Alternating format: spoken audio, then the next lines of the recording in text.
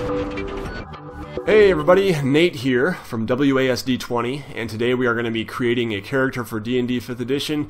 Today's class, the Ranger. Now a Ranger is kind of a, a protector of the wilds in a way. Uh, someone who usually lives out in the wilderness and is very good at living off the land and has as their job, I guess, fighting monsters and protecting the more civilized races from the beasts of the land. Uh, so there's pretty they're pretty cool characters. Um, there's lots of very well-known rangers. Uh, a couple I can think of are Aragorn, of course, from Lord of the Rings, uh, Drizzt Do'Urden from uh, the Forgotten Realms uh, book series, and I'm currently reading the Wheel of Time series, and there's sort of a way in which the Warders are um, a little bit like Rangers as well. So anyway, Rangers are, are pretty strong fighters and uh, mechanically speaking, they also, you know, they get they do get some spells eventually. Uh, so yeah, they're pretty pretty cool characters. I really like Rangers. They're one of my favorite classes. Just a quick note on the character sheet I'm using today. I forgot to mention I'm using one that looks a little bit different. It is when you download this full folder, which I'll put a link to in the description, uh, the website where you can get all these character sheets. And uh, I'm using alternative form fillable. There's alternative 2, there's a bunch of different ones, but I'm using alternative form fillable, which is pretty similar to the normal character sheet, but a little bit different, and I'll talk more about the differences later. But before we get into too much about Rangers, let's talk about the race. That's where we're going to start half elf, and we're going to record our racial bonuses and all that. Then we're going to roll for ability scores. Uh, then we'll talk about the character background, and then we'll talk about class and spells and some other things. So Half Elf is found on page 38 of the player's handbook. It talks about here, one of the subtitles is Of Two Worlds, and that's something to remember is that half elves are kind of torn in between these two worlds. They're half human, half elf. Now, you could potentially have half elf and half something else.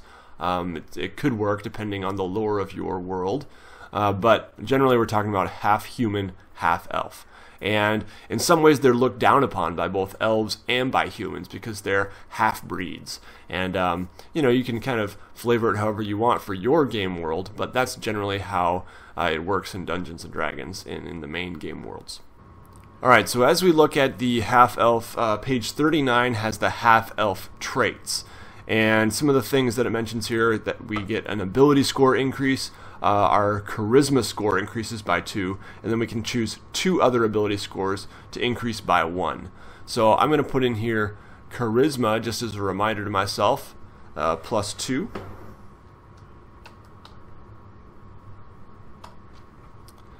And then two other ability scores plus one. And I don't know, for a Ranger we probably want Strength, and this might depend on how uh, my ability scores actually are, but for now I'll just put them in Strength, and we'll do Wisdom, which is very useful for a Ranger's spell casting.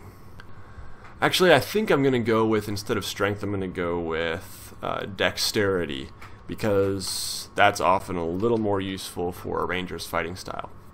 Alright, but it depends. Alright, so we have here that half-elves mature at the same rate as humans and reach adulthood around the age of 20. They live much longer than humans, however, often exceeding 180 years. Alignment, uh, we're not going to mess with right now. And size, half-elves are about the same size as humans. Uh, speed, base walking speed is 30 feet, so we'll put that in here. Looks like we do get dark vision, thanks to our elven blood and that means we can see in dim light within 60 feet as if it were bright light and in darkness as if it were dim light. Only shades of gray. Uh, then Fey ancestry, you have an advantage on saving throws against being charmed, and magic can't put you to sleep. Okay, so I'll kind of abbreviate here. Advantage, saving throws,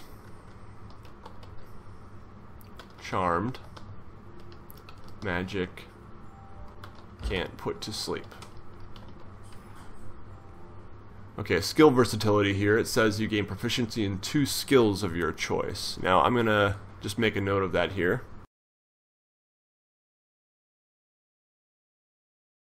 Because I'm not going to select my skills quite yet. Alright, so it looks like I can speak, read, and write uh, Common and Elvish. And one other language of my choice. And mm, I think I might go with uh, Dwarvish? Is that... I can't remember if it's Dwarven or Dwarvish. I think it's Dwarven.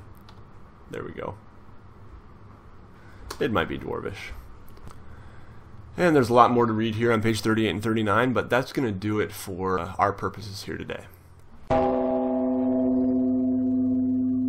Alright, next up we're going to roll for our ability scores, and here I've just got four six-sided die, that's the method I usually prefer, and I'm going to be rolling them and dropping the lowest each time to record one of my ability scores. And for now, just to keep notes, I'll, I'll put them in right here. So this one was a 5, plus 3 is 8, plus 2 is 10. Not great. Alright, let's try again. Big money, big money. Ooh, that's terrible. Okay, so this is going to be an 8.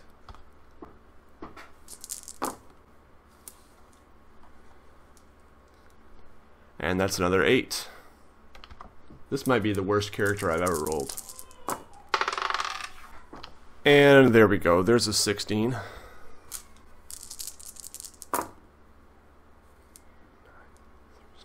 And a 12. And I need one more.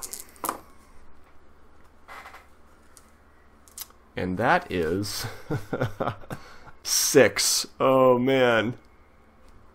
Okay. this should be interesting. Wow. Alright, well I'm going to stick with it. Alright, now for Rangers they usually recommend that you have Dexterity and Wisdom as your highest. And uh, unless you want two weapon fighting, and then they say uh, Strength uh, might be important for you. But I'm going to go with Dexterity and, uh, and Wisdom as my highest. So here we go. Dexterity is going to be a 18. I'm sorry, that's a, that's a 17. I only had a plus one there, so 17. All right, and then I can get rid of the 16. Uh, my wisdom will be 13.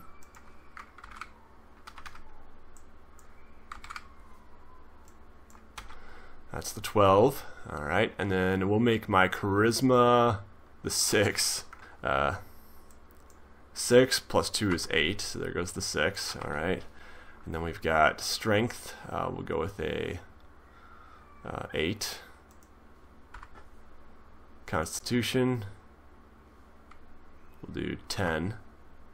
And then we'll do an 8. Okay. There we go. Not real good. Now, handy trick for recording your modifiers, you can look in the very first part of the book, it's in there, uh, but I'm trying to get used to using the method of subtract 10 and then divide by 2 all right, and always round down. So if we subtract 10, we get negative 2 divided by 2 is negative 1. And that's our modifier for strength. 17 minus 10 is 7, divided by 2 is 3.5. We round down, and it's a plus 3.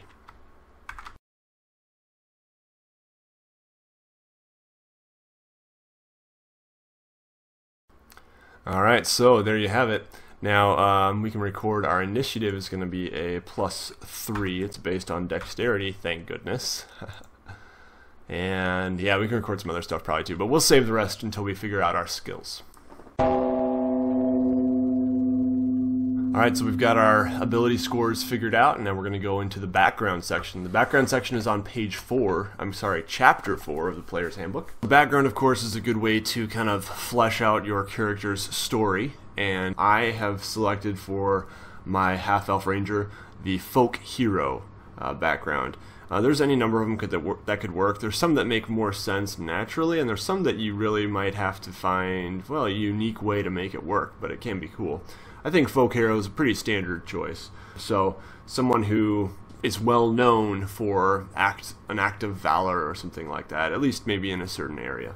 First off, it says that uh, for our skill proficiencies, we get animal handling and survival, which make pretty good sense with a, uh, a ranger. So animal handling and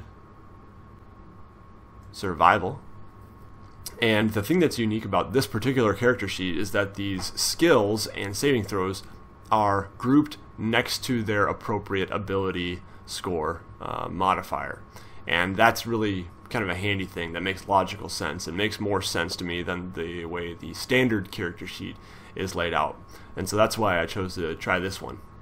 So for the equipment, I'm going to be taking the standard equipment. Remember that if you are taking the equipment from the background and from the class, you do not get to roll for gold. It's either you roll for gold and buy your own equipment, or you can take the standard stuff from the background and the class. I'll be taking the standard equipment just to kind of keep things simple here.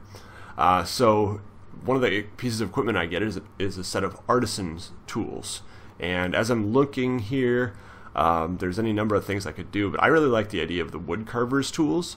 Um, the idea that maybe this guy, you know, he lives off the land and he, he maybe makes wood carvings to sell. I don't know. Okay, so in addition to my wood carver's tools, I also get a shovel, an iron pot, some common clothes, a belt pouch with 10 gold pieces. And um, that's it.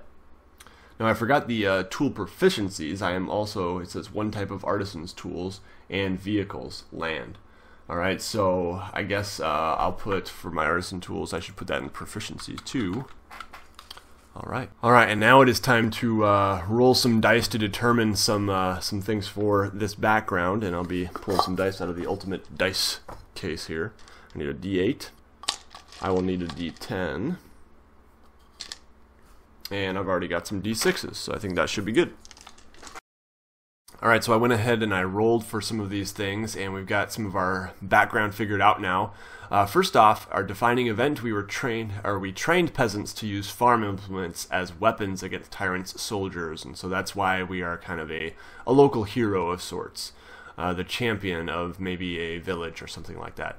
We also have this rustic hospitality trait, which enables us to kind of blend in with the common folk, and common folk will kind of um, defend us in a way.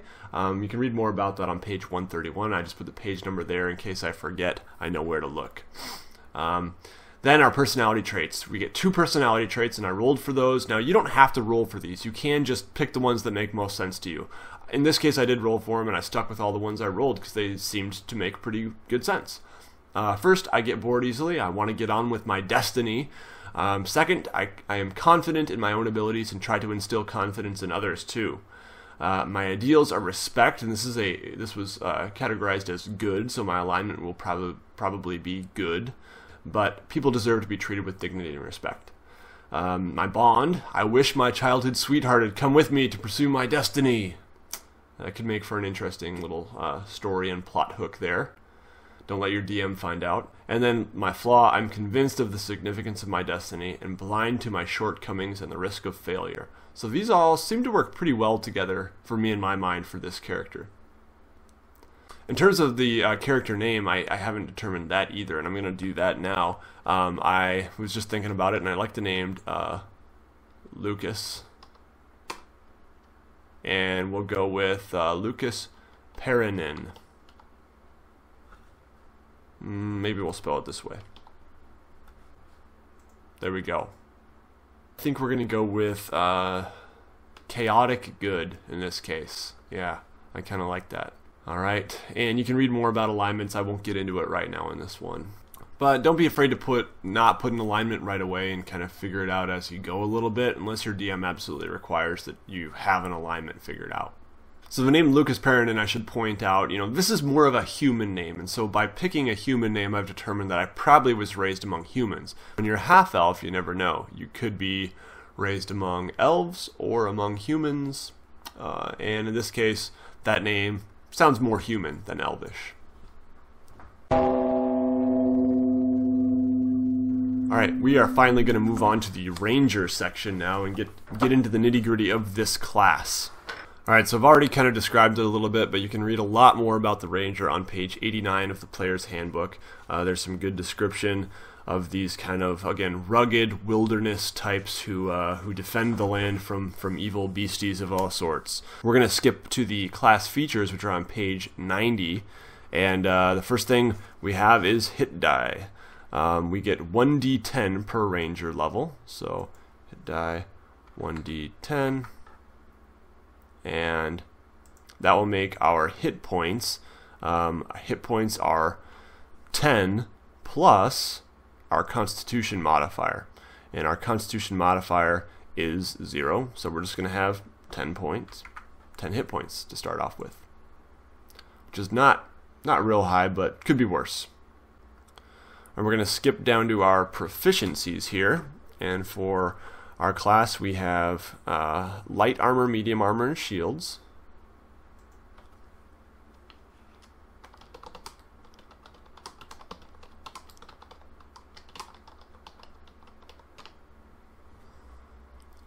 For weapons, we have simple weapons, martial weapons. no tool proficiencies. We have saving throw proficiency in strength and dexterity. So I'm going to go ahead and check these boxes. Oops, not constitution. There we go. Dexterity and strength. So for our skills, we get to choose three from the following. Animal handling, athletics, insight, investigation, nature, perception, stealth, and survival. Alright, now I've already got survival and animal handling, so we're not going to pick those. And um, I think we're going to go with nature. Alright, so I went with athletics, stealth, and nature for my three proficiencies. And now let's not forget that I get two more skill proficiencies because of my half elven race. So I'm going to get rid of this now and select two more of my choice, and they can be really anything. And I think I might go with um, persuade, eh, intimidation. We're going to do intimidation, and uh, we'll do perception. That's useful. Okay. There we go. So now we're going to go ahead and record these. Now the way this works with our skill proficiencies is we have our modifier right here. So for dexterity, they're all going to be plus 3 unless I am proficient. My proficiency bonus at level 1 is going to be plus 2. Alright, for all characters it's going to be plus 2. And so for skills that I'm proficient in or saving throws I'm proficient in, I add plus 2 and the modifier. So with strength, my saving throw is negative 1 plus 2 is positive 1. So plus 1 there. Athletics, same thing. Saving throws for dexterity, we get plus 3. I'm sorry. I'm proficient, so it's going to be plus 5. But acrobatics, I am not proficient in, so it's going to be plus 3. Alright, you see how that works? I'm going to go ahead and fill out the rest of them. Alright, so those are pretty tiny and hard to read there, but I got them all recorded, and uh, it was a lot easier with this sort of character sheet as they're grouped with the appropriate ability score modifier. Alright, now our passive perception is going to be based on our perception, so we have perception plus 3, and our passive wisdom or perception is always going to be 10 plus our perception. So 10 plus 3 is 13. That's our passive perception. Alright, so we've got all of our skills figured out now. Now it is time to continue with the class section and we'll talk about equipment here. So uh, it says you start with the following equipment in addition to the equipment granted by your background. So I already took that equipment from the background, remember? And um, now I get to choose scale mail or leather armor.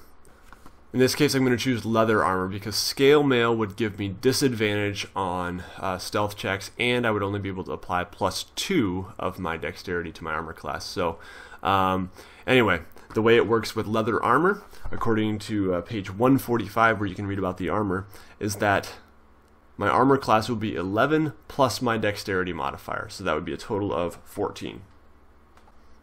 And I would not be disadvantaged on stealth checks that way. All right. Next up, we can get uh, two short swords or two simple melee weapons. And I think I will go with those two short swords. Okay, I get a Dungeoneer's pack or an Explorer's pack, and in my case, I'm going to take the Explorer's pack. You can read more about those in Chapter 5. They have a breakdown of what's included in those. And then I get a longbow and a quiver of 20 arrows. Alright, now I'm going to record my weapon damage here, and the way this works is my attack bonus is if I'm proficient with the weapon, which I am proficient with all martial and simple weapons, uh, then I do get to add my proficiency bonus of plus 2 and the appropriate modifier. And since a short sword is a finesse weapon, I can choose whether I want to use dexterity or strength. I would definitely choose dexterity in this case. So plus 3, plus 2 gives me a total attack bonus of plus 5. And that is going to be 1d6.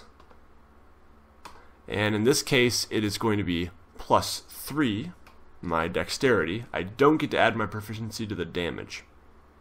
1d6 plus 3, and it is piercing damage. So I put a P there. For my longbow, I'm also using my proficiency and my dexterity. and so it will be a plus 5. And a longbow is 1d8, and it is also going to be plus 3 for my dexterity, and it is also piercing.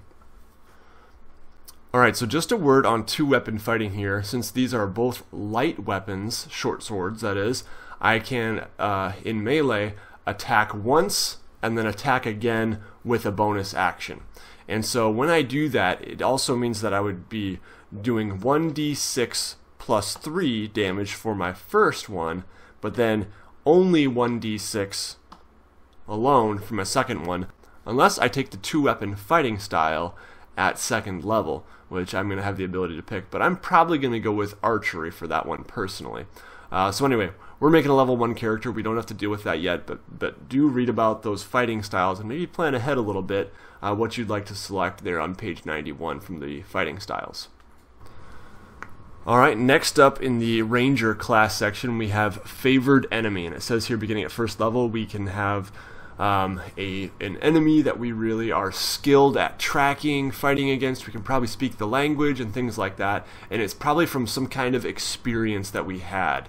And from in my case, I'm thinking that maybe um, my favorite enemy is going to be Drow. I'm thinking that perhaps um, you know Drow from the Underdark came and attacked this village, and maybe that's even um, the the situation here, the defining event. Maybe it was um, the, the tyrant soldiers were actually drow from the Underdark, perhaps. And so I have spent much of my time, and maybe they even captured some people from my village, and I have I have a real axe to grind with the drow. Okay, now it says when you pick two, uh, when you pick a humanoid, you can actually pick two. And since drow are humanoid, I'm going to pick drow, and then I'm also going to pick orcs. So, favorite enemies.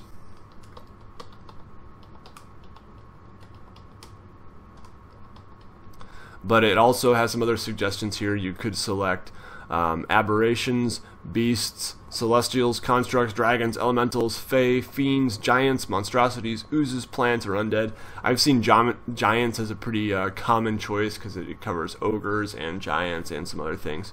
Um, so anyway, I'm just going to stick with orcs and drow as my favorite enemies. And um, yeah, I have advantage on survival checks. Um, anyway, you can read all about it more on page 91. I'm not going to take the time now.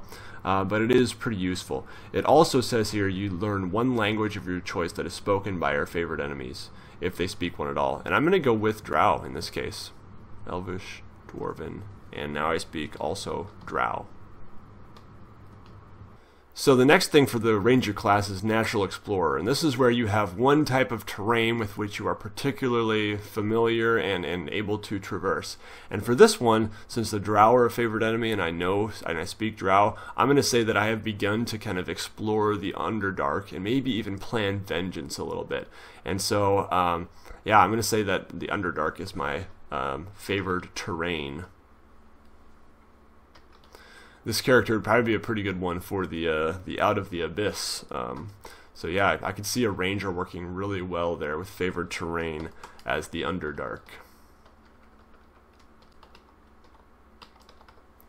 So there are many, many benefits that that gives me, and I'm not going to go through them all, but there's like five or six of them listed here, and I'm just going to put here page 91. You can read all about that, but it's, it is pretty useful. So that's going to be it for the Ranger class for first level. But if you go beyond that, um, there are so many cool things that the Ranger gets. Uh, spell casting, you get uh, to pick a Ranger archetype. And the Ranger archetypes, you can have Hunter or Beastmaster. And the Beastmaster one is super cool because you get an animal companion. And what's not to love about that, right?